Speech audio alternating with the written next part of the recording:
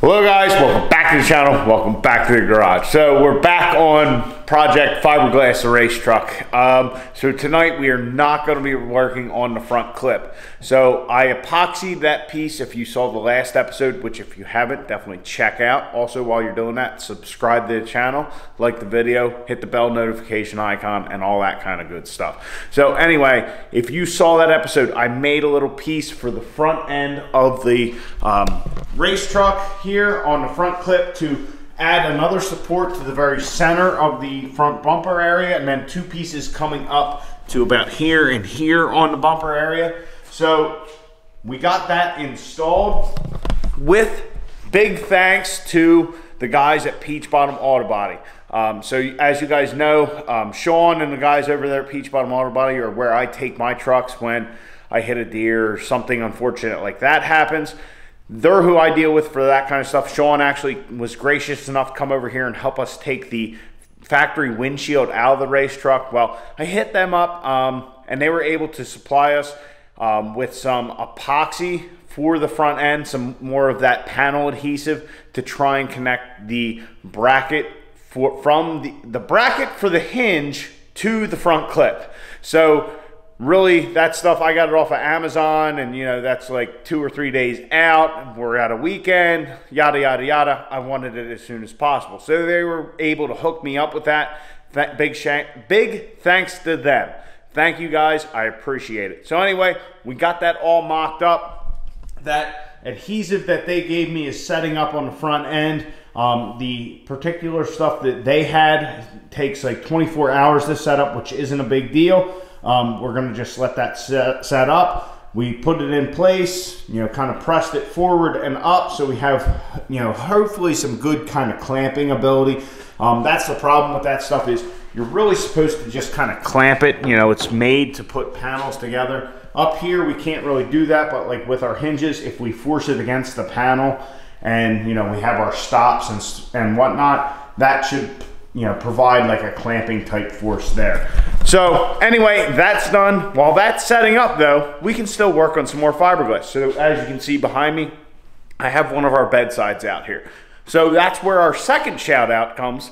Um, and that's to MD Diesel Fab. I always talk him up about his roll cages and stuff like that. Definitely check him out on the Instagram. Um, while I was there picking this up, which we will talk about in a second, he was you know making the main hoop for this very very clean like 06 07 truck um, and he you know bent it all up while I was there while we were chit chatting kind of like it was nothing not a big deal and man that thing is tight for a truck that's going to have a full interior that cage is it's almost going to seem like part of the interior. I mean, it was it was impressive work. Trust me. He's got a picture on his Instagram of it. Definitely check it out. So anyway, what Mr. MD Diesel Fab Mike hooked us up with is his bedside um, tool. So like he said, setting these trucks up, really the biggest pain is the bedsides because you know you don't have enough hands. So that's why he made this little mock-up tool. So that way we can put these on our frame rails, hang our bedsides, get everything there. We can adjust them in and out, up and down, and all that. So we're gonna get these mocked up on our frame. Um, he did tell me that he made this particular um, mock-up tool for like a tube chassis on a Ford. So it might be a little different on our frame. And honestly, I already mocked it up once just real quick with some clamps and you know the, the frame sloping down here and an angle is a little bit of an issue but we can correct that and the other thing is that these um, bars, as you can see, they are just a hair short. I mean, they are long enough we can get some weld on there, so it's not going to be a big issue. We can take care of it, not a problem. So we'll get this tool kind of all installed. What I really want to do is kind of center it, center it over the wheel, and that way we have, you know, kind of good spread. We also have a work area in the front and the back for when we come up with our mounting solution for our bedside. So we'll get this thing all set up on the frame. Um, I'll probably just kind of mock it up. I don't know if I'll tack weld it or not, but then we will talk about it some more and get to kind of hanging our bedside.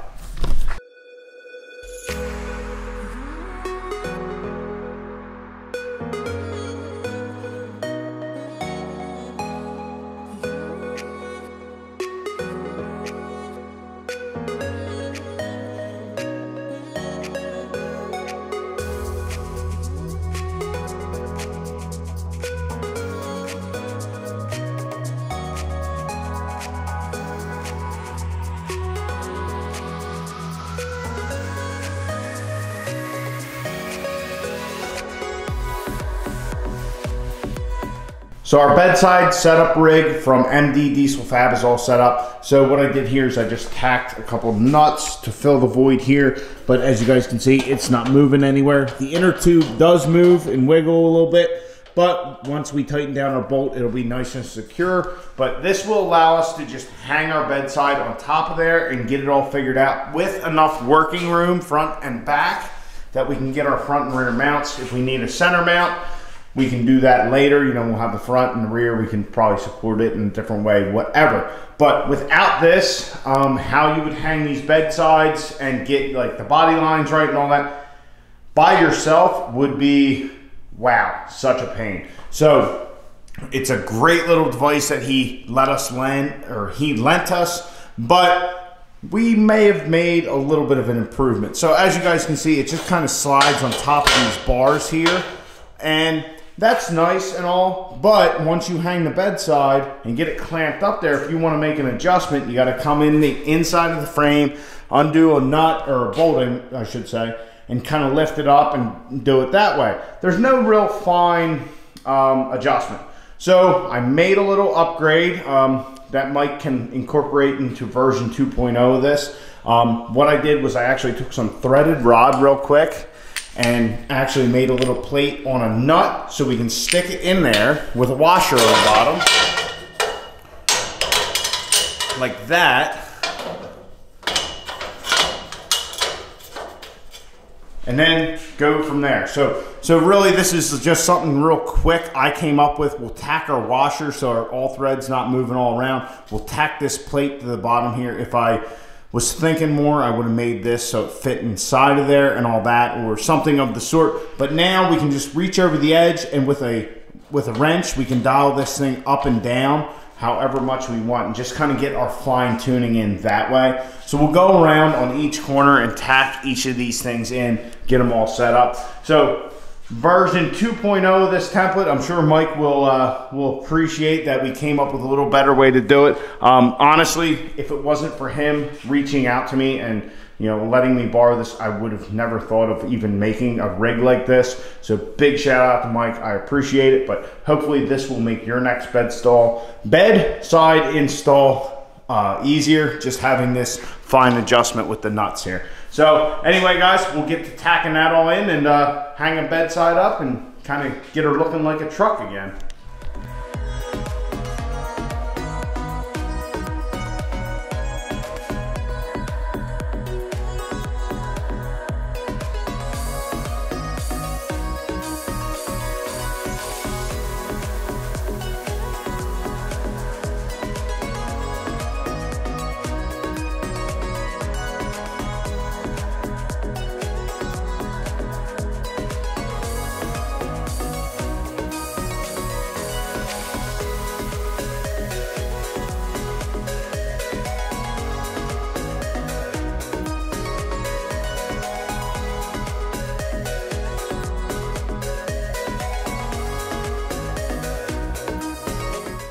So we got our bedside hung and clamped down. Um, I think the body line's actually looking pretty good. If we look at that line right here, it might need to go up in the rear a little bit. Um, maybe we need some fine tuning, but really the thing we are looking for is to get our center, center for our axle because we have to actually cut out our wheel well. Then we can get this thing pushed in and really get everything dialed in. Um, I do have our spacing here. If you look at how this fiberglass is laid out, it looks like uh, like on Caitlin, you know, here's where the plastic bed rail would be, and here's the actual bed body. So there was about an inch and a quarter, I believe it was, in here, and then the whole body line on the truck, I could like just kind of get two fingers in. But what we'll do is we will actually mark our wheel well out and we will cut that out. And then we get this thing pressed you know where it should be in line with the cab not kind of all sticking out and like all wally and whatnot. Because you know obviously this being pushed out this line's going to be up a little higher so we'll have to dial it in after we do that. But we want to get our axle axle center line just right and you know kind of make that and get you know get it looking like a proper truck again. It kind of looks like a panel van right now. Um, I mean, it would look pretty well, I don't want to say it would look pretty cool. I don't know how cool it would look, but it would definitely look very different if we somehow figured out a way to make it look like that, kind of tuck the tire up in there. You know, when we had our Hoosiers on there, it would certainly look very different, but that's not what we're going for. Um, and I don't know how we do that with our current, you know, bedsides. Uh, but anyway, that's how it looks right now. So what we'll do is we're gonna have to mark that, you know, get our center line for our axle, make a template and get this wheel well cut out. Then we can get this thing pressed back and in place. We're not gonna be doing that tonight because, well, it is pretty nasty outside. It's kind of like raining, half snowing, which is funny because it was like 60 like two days ago. Well, that's Pennsylvania spring weather for you, or, you know, fake spring, whatever you want to call it. So anyway, we're not going to get to cutting a wheel well out tonight um, just because it's nasty outside and if you're trying to make a cardboard template and it's raining and all, how are we going to fare? Probably not well. So we're just going to leave it where we're at. We're in a good position to get this thing all lined up and dialed in. Now, as far as mounting goes, I don't have a specific plan in mind yet.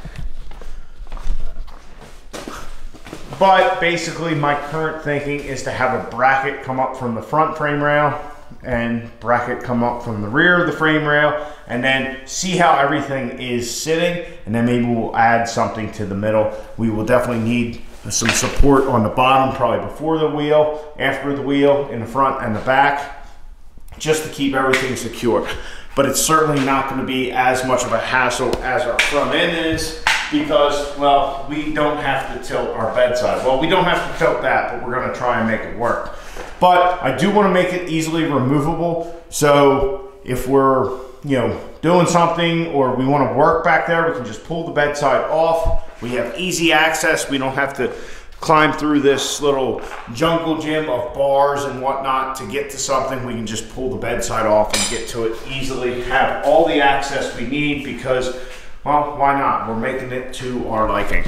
So anyway, guys, all we really did was get our bedside mocked up, but it's a big step, you know, making this thing look like a truck again. It's starting to kind of come together, um, looking like a truck. We're on, once we get this fiberglass all done, it's basically all just little stuff. We, we do have one little mm, change in the front end we need to make, but you'll see that when you see that. It, it's going to be after the front clip's done for sure. But anyway, it's starting to come together, starting to look like a truck again. We got some work to do in the back, some work to do in the front, but it's all cosmetic and we can get it. So anyway, guys, I hope you enjoyed. If you did, please subscribe to the channel, like the video. I'll catch you guys on the next one. Get out in your garage, get the wrenching on your truck.